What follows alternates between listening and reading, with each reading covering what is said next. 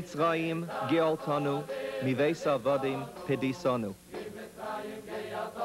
You have redeemed us from Egypt. You have liberated us from the house of bondage. Each year, as the Passover season approached, the Jews of Eastern Europe might have been expected to say, no more city life for us. After Pharaoh made us build the cities of Pitom and Ramses, we'll never go back again. Instead, the Jews of Poland, Lithuania, White Russia, and the Ukraine were those countries' first true urbanites. They were the settlers and also the builders of countless market towns known as Shtetlach. Here, their talent, their energy, their enthusiasm for city life reached its zenith in the 600 years of mass Jewish settlement in Eastern Europe. NBC News, in association with the Jewish Theological Seminary of America, presents this Eternal Light special program.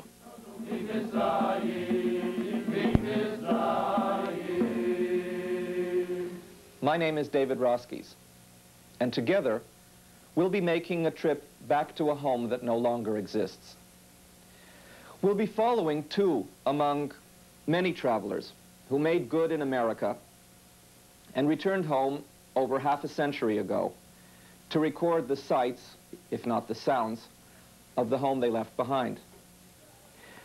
We can see what they saw because we're lucky enough to have found some rare film footage of their visits to create a composite picture of the shtetl of Eastern Europe. As our two visitors approached their native towns, they passed through farmlands and forests, rivers and lakes. Here, the non-Jewish population lived, Poles, Ukrainians, White Russians, and colonial Germans.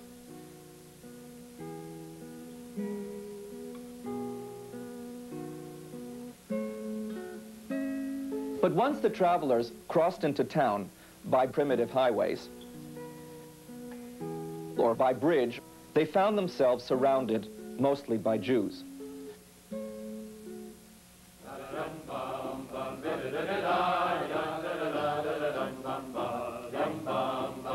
Jews who spoke their own language,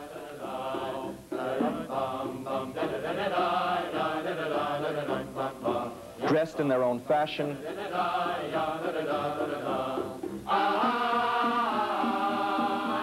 ate their own foods,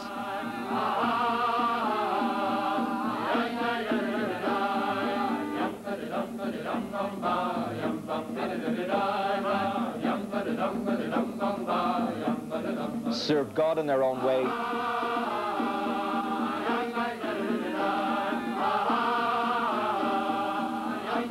and ran their own institutions.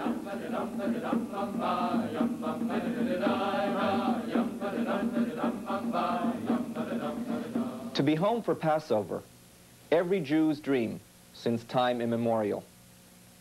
Up until 40 years ago, home for the majority of Jews in the world was Eastern Europe. And though most of them by that time lived in big cities, the historic focal points were still the Shtetlach. Since the mid-14th century, when the mass Jewish settlement of Eastern Europe began, the Shtetl Jews were precariously located between the Christian world of squire and peasant, the Roman Catholics and the Eastern Orthodox, and made themselves indispensable to all.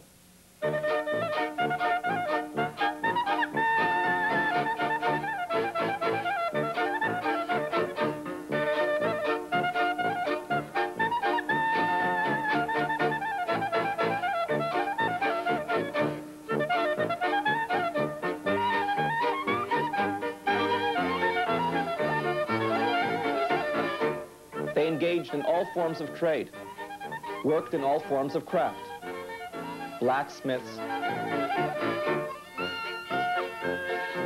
tailors, seamstresses, cobblers, tanners, peddlers, all forms of craft.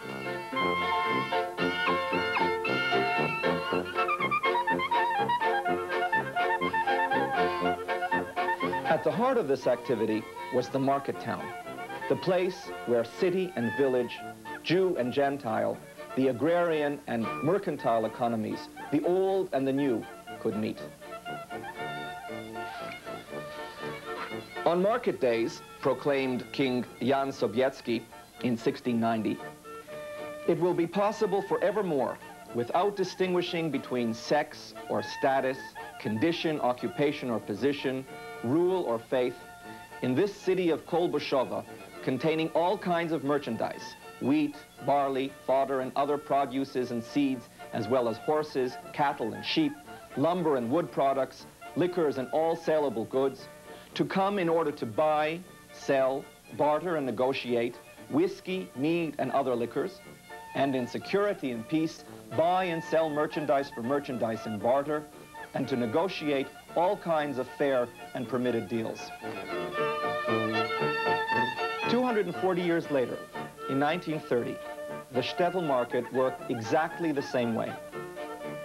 When Philip Zuckerman arrived in the Polish shtetl of Kolbashov on Tuesday, the place was swarming with peasant wagons and peasant women, all dressed in identical kerchiefs, carrying with them the livestock and produce from their farms. By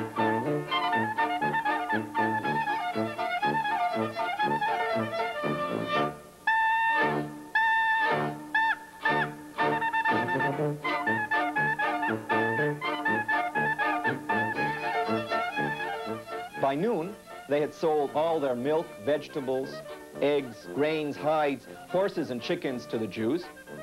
And by late afternoon, the Jewish merchants had sold to the peasants their finished goods and products. Deals were clinched, as always, with a slap of the hands, followed by a stiff drink in the nearby tavern. Kolbashov had been known for its fine, handcrafted furniture and violins, which were exported throughout Europe. But once furniture was mass-produced elsewhere, and the demand for violins couldn't have been that great, this specialized industry went down the drain. Now, only lumber and wooden sieves were left. Jews were the linchpin of the shtetl of the whole market economy, which was still based on the exchange of goods and services. In Kolbashov, this Jewish-Gentile reciprocity was displayed for all to see. Here is the Christian mayor with his secretary posing in front of town hall. Behind them, you can just make out the seal or town emblem. On closer inspection, what you see is truly remarkable. Two hands clasped in friendship, with a cross on top, a Star of David on the bottom, while the white wings of an eagle are spread out over the tip of the shield.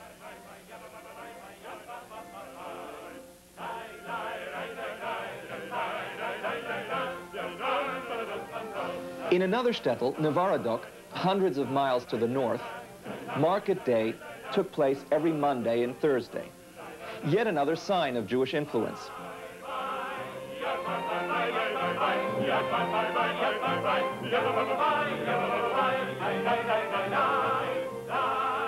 For on those days, the Torah is read in the synagogue at morning prayers.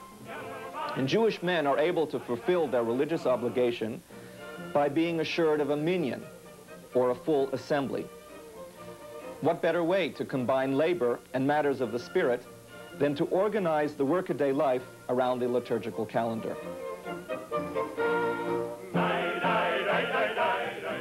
And that, indeed, was one of the central functions of the shtetl, to bring Jews and God into close and intimate contact, while enabling Jews and Gentiles to pursue their lives apart and together as their traditions dictated.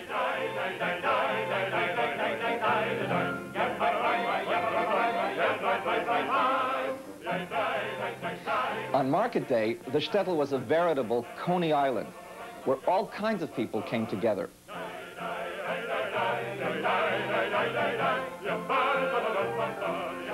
The village Jews, for instance, were called Yeshuvnikas.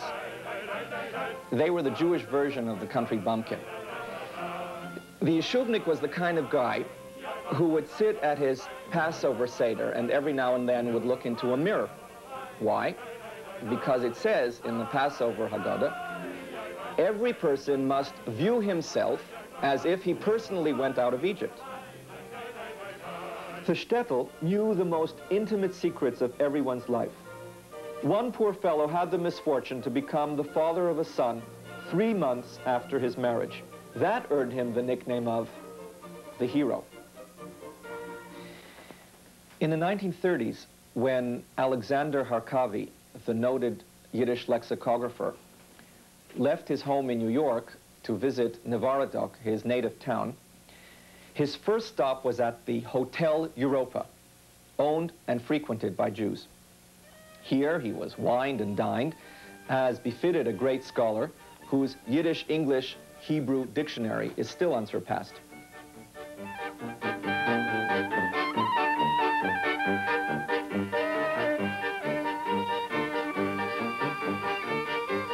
Later, he would be received by the mayor, a Polish Catholic. Posing for the camera, he surveyed the market from the balcony of his room. Novorotok was especially busy at this time of year, for its major export was matzahs. Here is how the matzahs are described in the Novorotok Memorial Volume.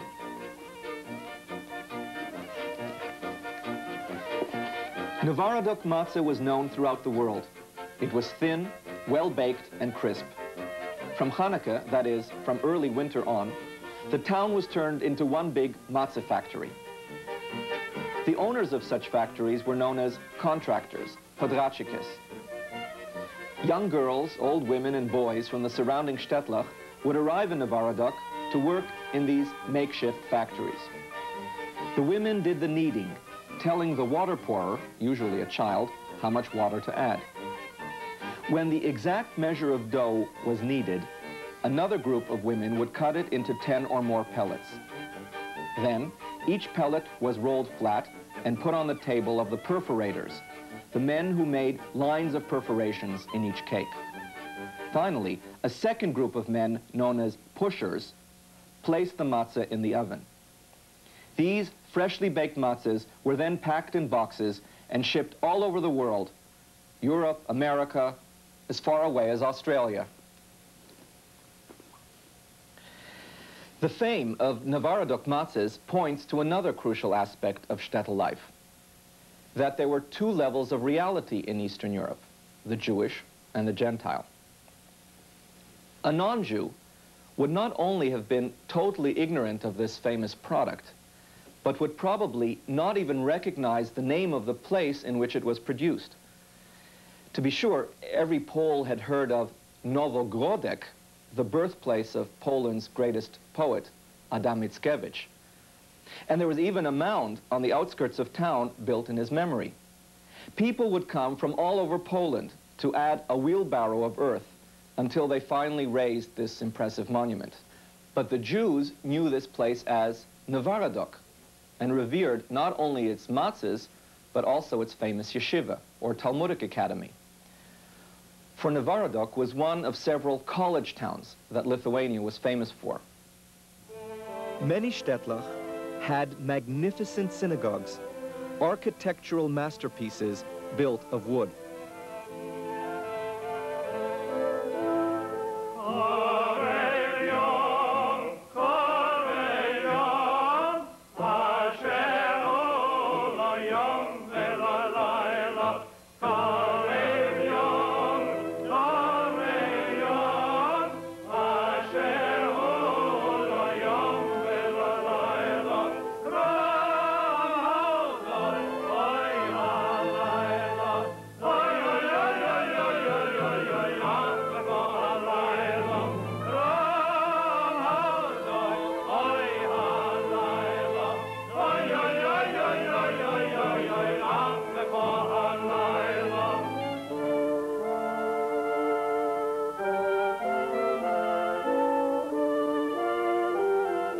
Others were built of stone or masonry, massive structures, fortress-like, some